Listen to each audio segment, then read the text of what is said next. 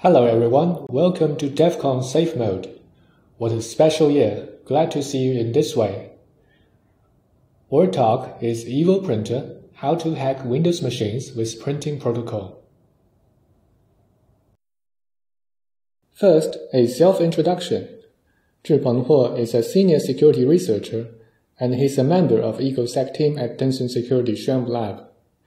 His research focuses on Windows and macOS platform security he has found and reported many vulnerabilities to Microsoft and Apple. Chuan Ding is a co-author of this presentation. He leads the EcoSec team at Tencent Security Xuanwu Lab.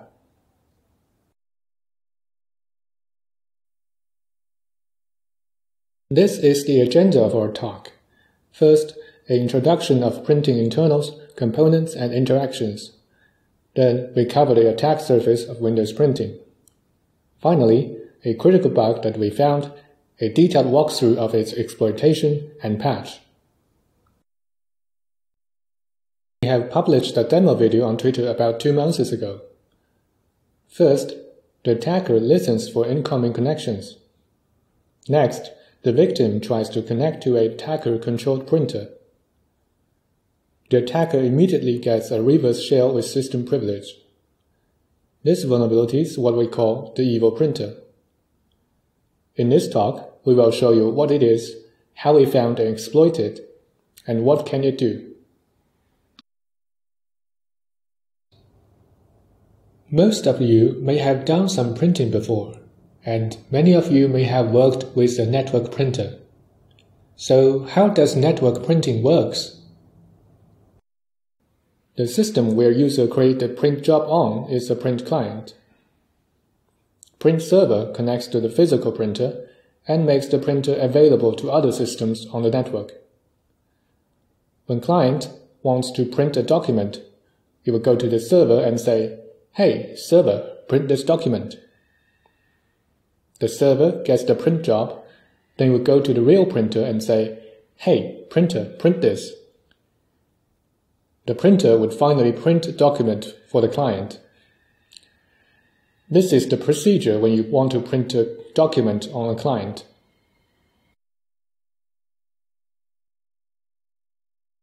There are so many different printer products manufactured by different companies. Printers does not understand application data from print clients. So the application data needs to be converted to the data format that the printer could understand. This process is called rendering. In a network printing, there are two different types of rendering, client-side and server-side. For client-side rendering, print client translates the application data to printer-specific data, then sends the data to the print server. For server-side rendering, print client sends the unmodified data directly to the print server. Then print server translates the application data to printer-specific data. The rendering job are handled by print driver. Printer driver is an important component of printing. It is the interface component between the OS and the printers. Printer drivers include a rendering component and a configuration component. The rendering component converts application data into the data that printer could use. And the configuration component contains a user interface that enables users to control the printers. In order to support both client-side and server-side rendering, it is a requirement that the printer drivers are available to both print client and print server. There are two mechanisms for distributing printer driver. They are called point and print and package point and print. Point and print allows a print client to download printer driver directly from a print server. Package point and print allows a print client to download a printer support package. And the package would include the needed printer driver. According to Microsoft, the package approach to driver installation provides improved security for point and print by checking driver signing during the establishment of a point and print connection.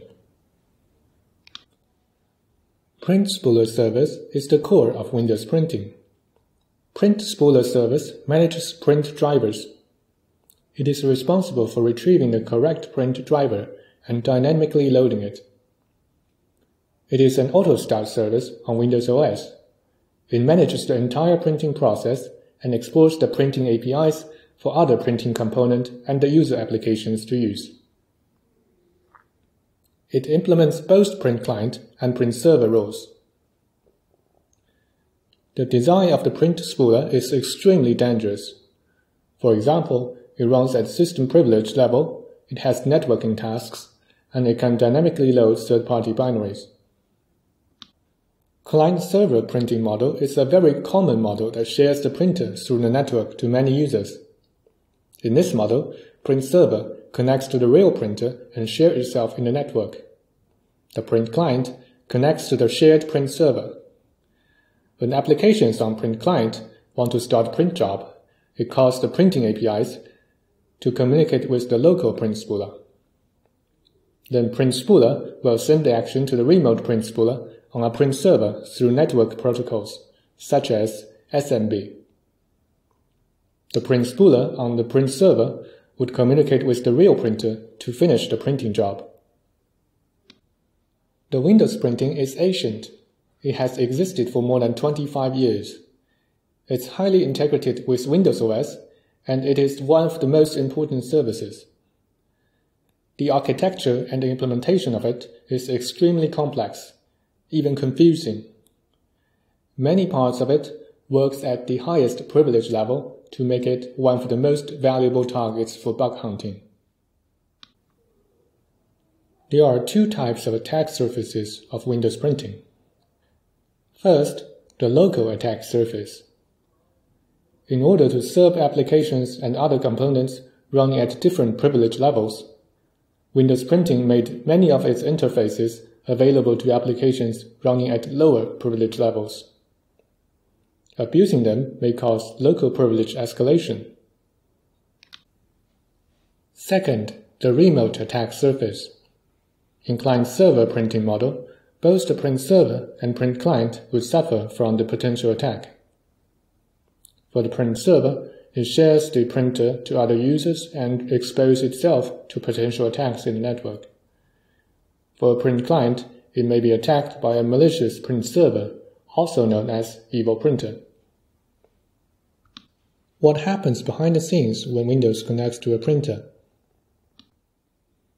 If a user wants to do print jobs through a print server, they must actively connect to the print server. There are many methods for a print client to co connect to a print server. If you are familiar with PowerShell, you could use add printer command line to add a new network printer connection by specifying the name of a print server and a shared printer on that server. If you want to program, Microsoft provides Win32 Print Spooler API, such as add printer connection and add printer connection to. And you could also use the GUI provided by printui slash im to select a shared printer by name. Although many methods could be used for connecting to a specified print server, they could be traced to the one same API add printer connection to. This API adds a connection to the specified printer for the current user and specified connection details. The print server and shared printer name are passed in through parameter PSZ name.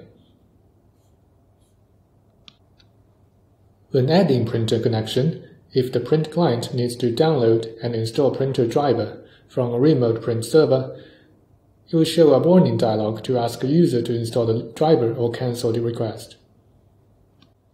What's the purpose of this warning dialog? About four years ago, security researchers from Vectra AI found a remote code execution vulnerability in Windows Print Spooler service. The root cause of this vulnerability is print client would load and install a malicious print driver from attacker-controlled print server.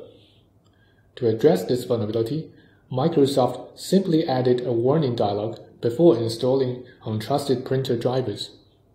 It does protect the print client from installing printer drivers without user consent.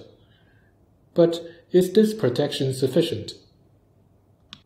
In order to answer this question, let's dig into the implementation of Add Printer Connection to first. Any applications on a print client that call add printer connection to API would send an RPC call to print spooler service on printer client. The remote function called is rpc add printer connection to. If the print client is trying to add a remote print server, the print spooler on print client would try to communicate with print spooler on print server and get information from it. When print server is fully controllable, it is obvious that the data back to the print spooler on print client is also fully controllable by the print server. For print client, it is an input source that cannot be trusted. If the returned information is not fully verified, it would cause critical security issues. The information from the print server would be handled by print spooler on print client.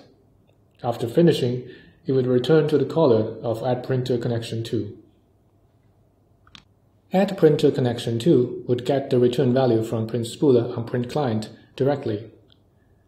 Error code 0xbb9, which is error printer driver download needed, is a special case.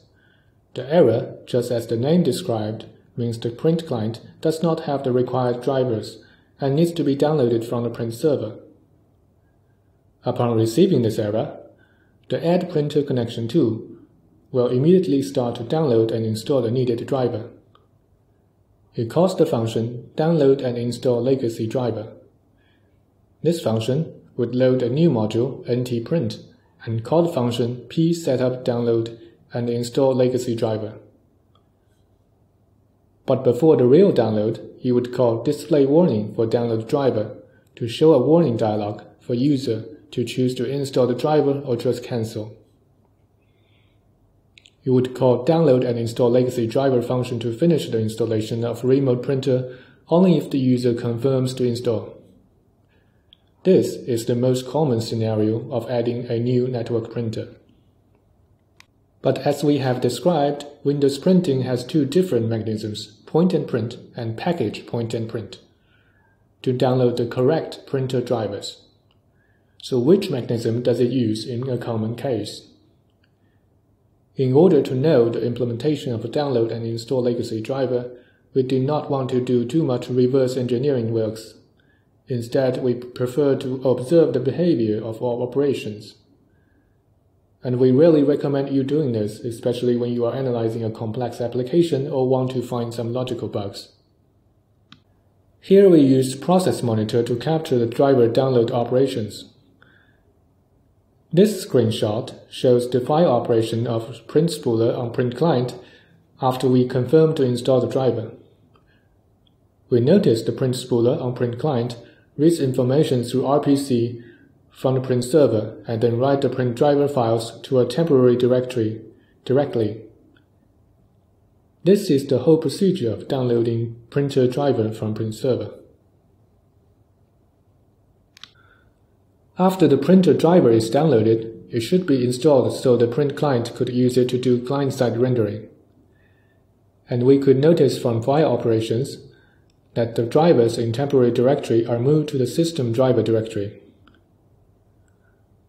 This is the procedure of printer driver installation. Now the printer driver is successfully downloaded and installed.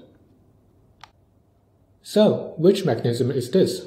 We did not see any package here. It seems all printer drivers are directly downloaded from the print server. So it seems to be point and print. So why does the current print client only use the point and print mechanism? How does the print client and server Negotiate which one to use. How to enable the package point and print. To answer this question, we dig into the RPC add printer connection to function in print spooler. The procedure of add printer connection to is very complex. We found the adding connection operation of the remote printer is handled by the Win32 SPL module.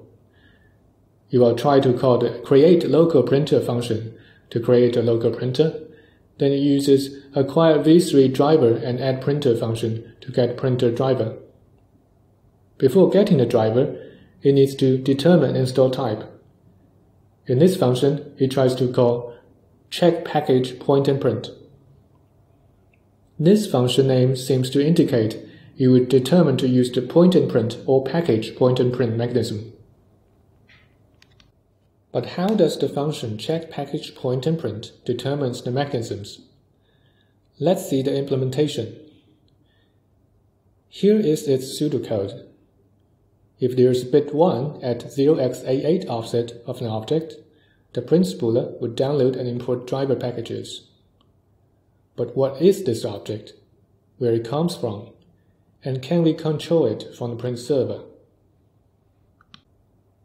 We found the print client gets that object by calling function remote get printer driver. The function in fact is just an RPC stub. The real implementation is RPC async get printer driver in print spooler of print server. The object is a return data from a remote print server, so it is fully controllable by print server. The structure of the returned object is a driver info 8 and we could know that at the 0x88 offset is the DW printer driver attributes.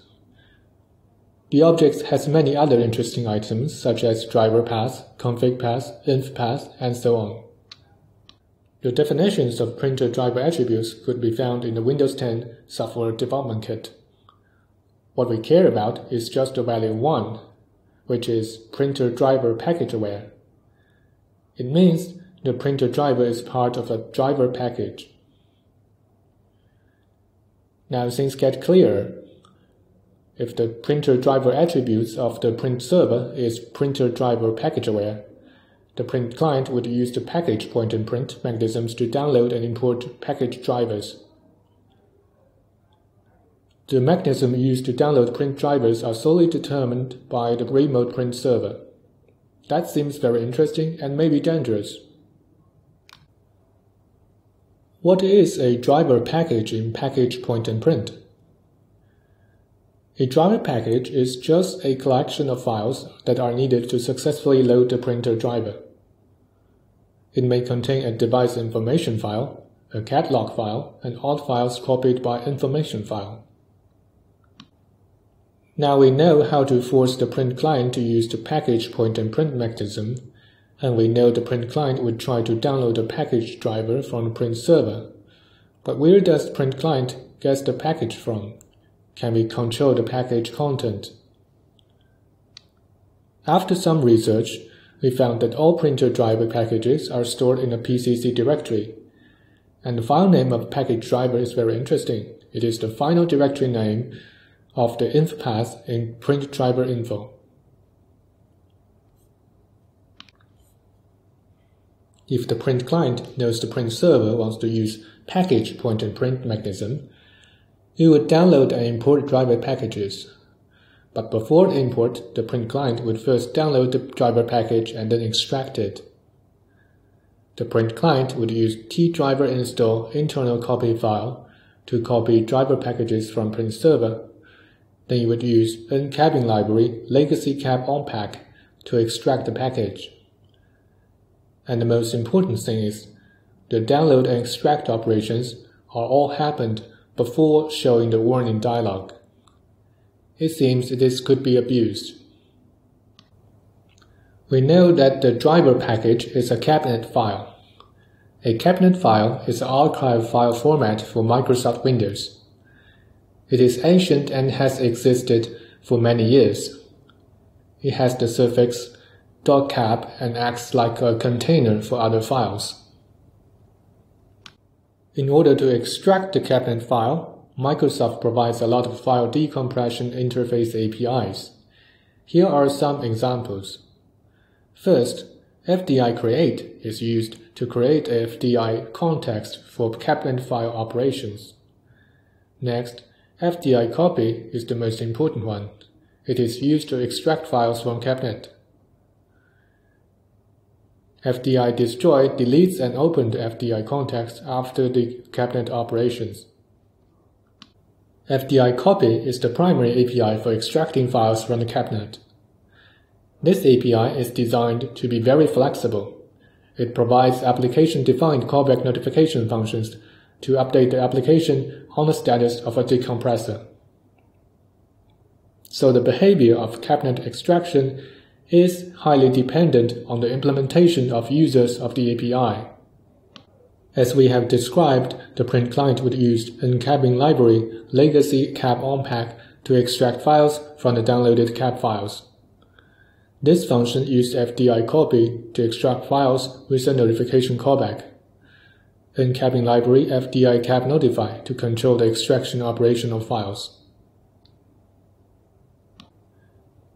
In the callback notification, you would receive the fdint copy file notification to handle copy file operation. This is part of pseudocode of copy file processing. The copy file operation would finally call the ncapping library process copy file. The process copy file first call ncapping library create full path to create a directory if the specified directory does not exist.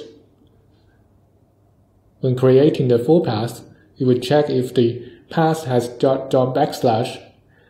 If it has, the function would just return with an error but it forgot to check the dot dot slash, which also works on Windows OS, that could be used to do path traversal. After creating the full path, it would then call the open function to open the file. If the file does not exist, will create the file via the ocreate flag. Now it is obvious that there is a path traversal issue when print client extract the downloaded cabinet file and the cabinet file is provided by a print server. Let's try to make a malformed cap file. Windows has provided the command makecap for cabinet file creation. However, makecap could not create a cabinet file with the file name containing slashes. So we decided to create a simple cap and then change the name of the file with another program.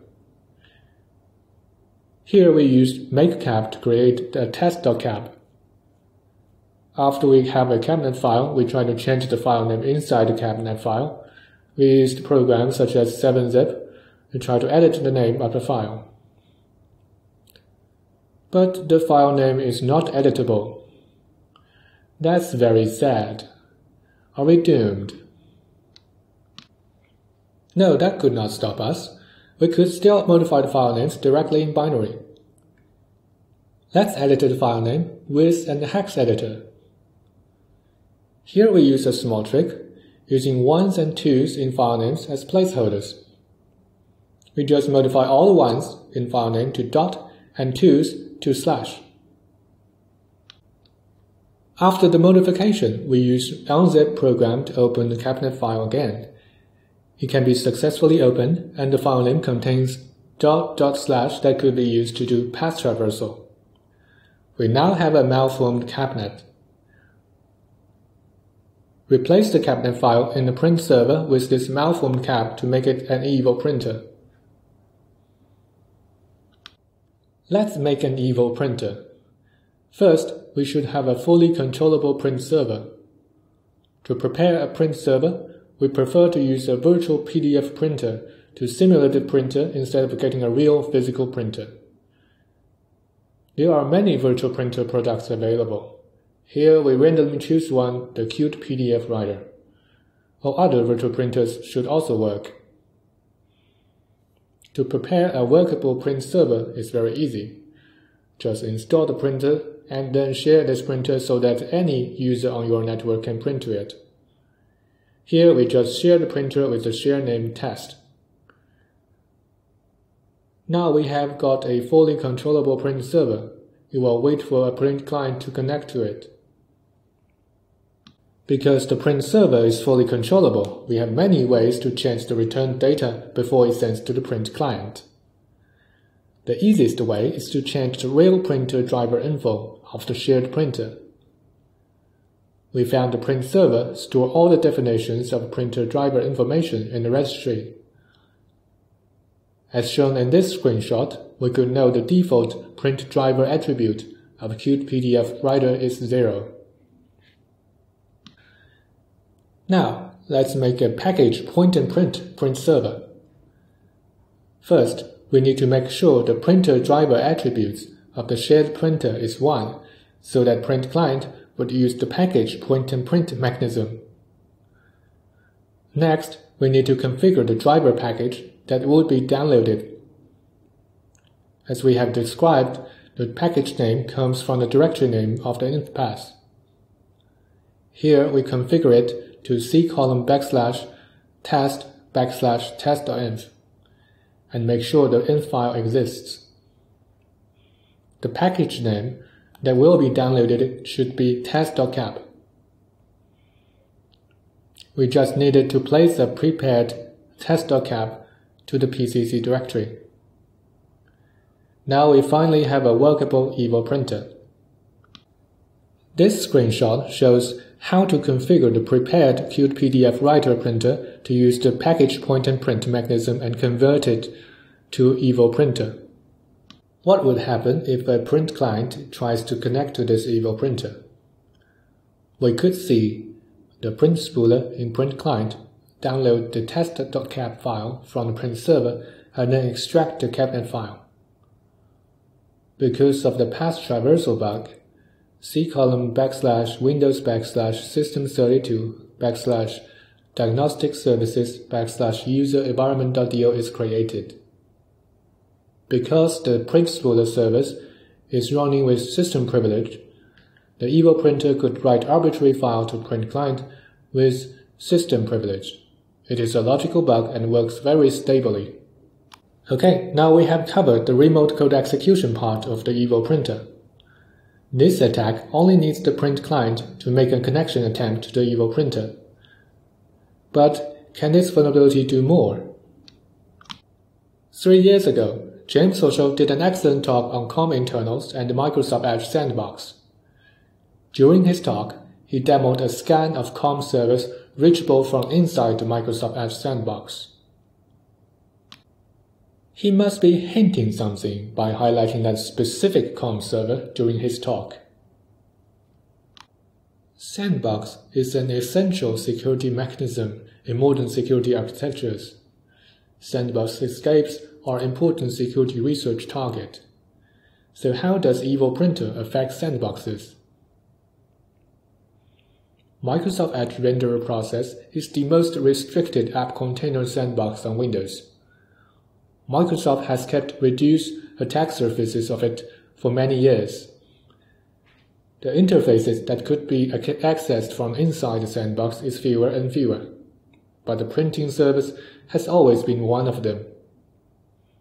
Until now, the process token of renderer process still has the capability LPAC printing. It means the renderer process could access the printing service.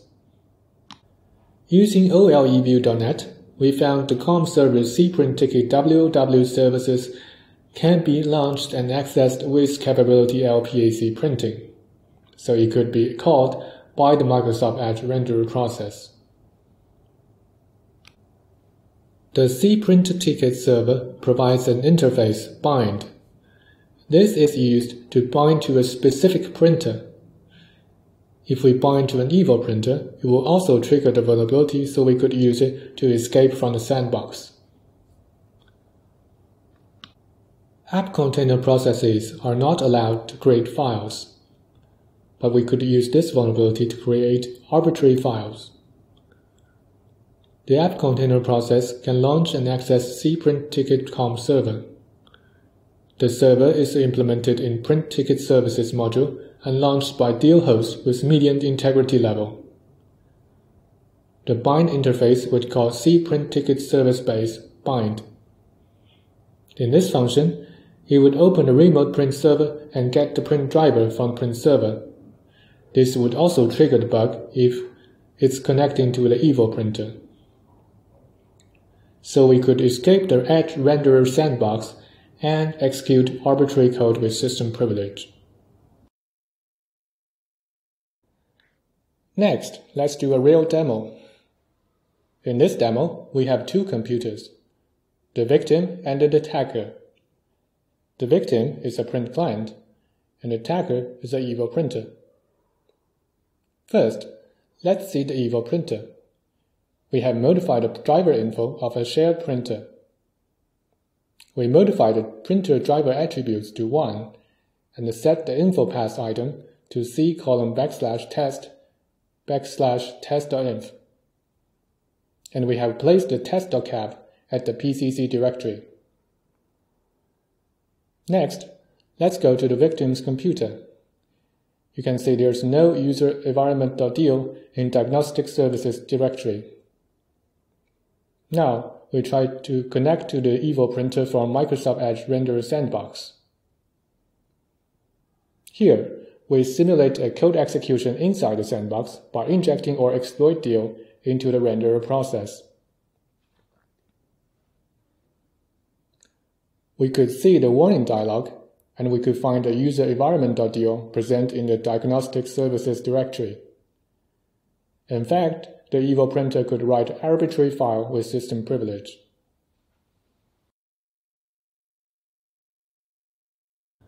The patch of the vulnerability is extremely simple.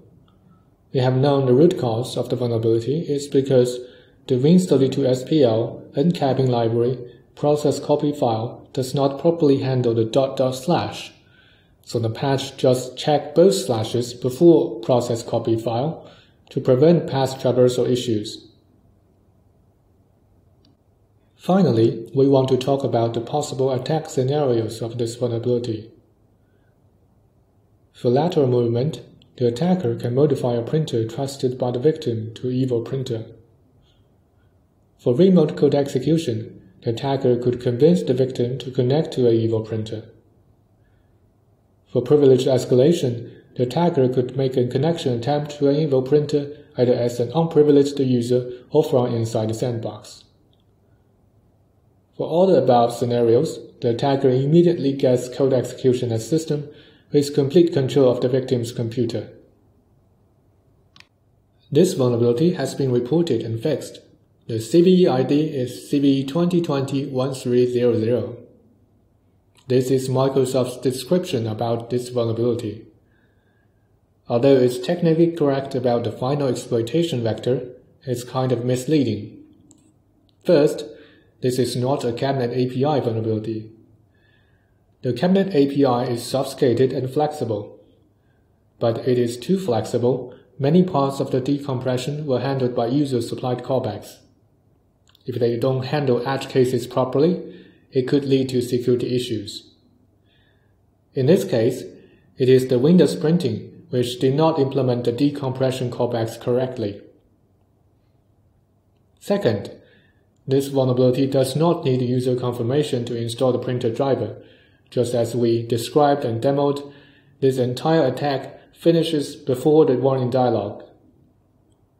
In fact, the attacker could also configure the print server to prevent the print client from showing the warning dialog to make the attack completely unnoticeable.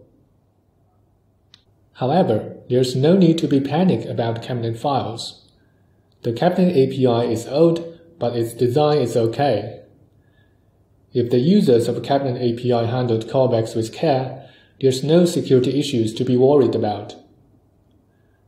For example, don't be afraid to open the malformed cabinet we created in Explorer. The CapView module in Explorer.exe correctly handles special characters in Cabinet API callbacks, so it is safe to open a cabinet file in Explorer and copy files. In this presentation, we talked about the implementation of Windows printing. It is complex and privileged and can be one of the best targets for attackers. And we walked you through a bug we found in Windows printing. It could be exploited both locally and remotely.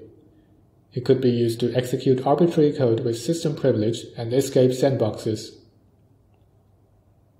For developers, don't be panicked about the cabinet files but you should be careful when writing the Cabinet API callbacks. Logical bugs like this are always found to harmful. We think you will love it just as we do. We would like to thank James Forshall for his excellent tools and hints, Bigdra AI for their previous works and shares, and thank you for listening.